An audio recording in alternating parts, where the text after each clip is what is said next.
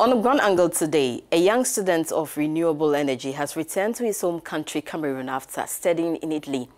Bolive Wakam is training other young people in Batoufam, a community in the western part of the country, on how to install and maintain solar panels. The objective is to light up his community.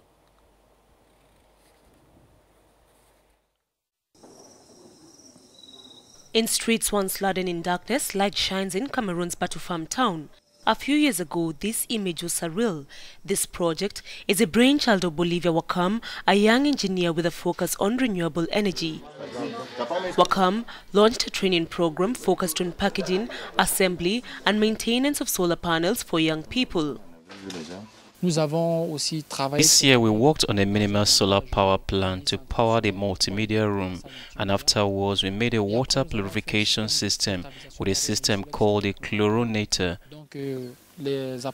So the learners explained to the local authorities. We also worked on a solar lamp called the Aladdin lamp that can feed at least one room or a space of 3 by 3 meters. And we made the Aladdin lamp such that it is possible to enable people to have energy and water. This ambitious project has rekindled hope in the community of Batoufam. The program now extends to the entire region with the aim of making Batoufam a reference point in the solar field in Cameroon. According to data from the World Bank, only 53% of Cameroon's population of 23 million people have access to electricity. The ultimate goal is to electrify and give drinking water to all African communities, and for this we must involve young people who must maintain the structures. Therefore, I have reflected on this initiative which began two years ago.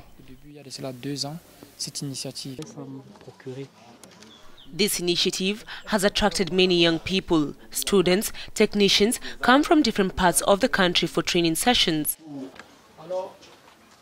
The Central African country has been focused on hydroelectricity and is now diversifying energy sources to meet growing demand.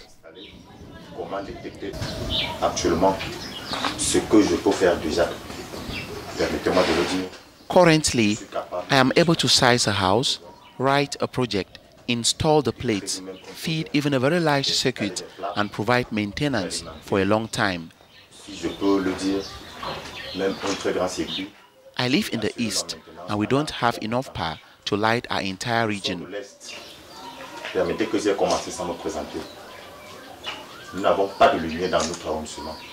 More than 80% of the country's electricity comes from hydropower, but the government has been encouraging the use of other renewable sources, with solar energy gaining ground.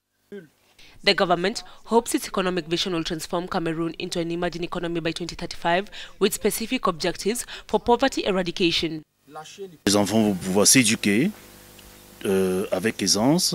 Les familles vont s'éclairer. Children will be able to learn and families will be safe from various diseases. Beaucoup de mots tels que euh, même la santé. Even the health sector will benefit because if in our health centers we constantly have light, this will shelter us from many things.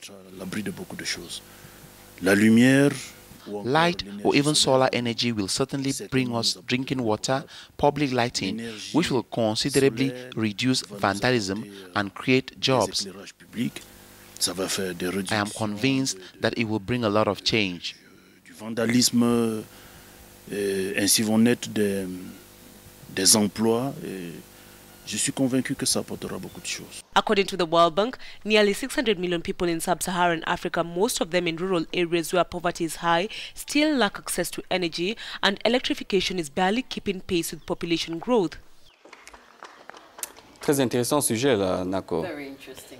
J'espère que ça peut voilà, concourir au développement That was a nice piece of work. Nako Kabla. ce pays euh, de sa position actuelle, de son classement économique actuel. Certainly.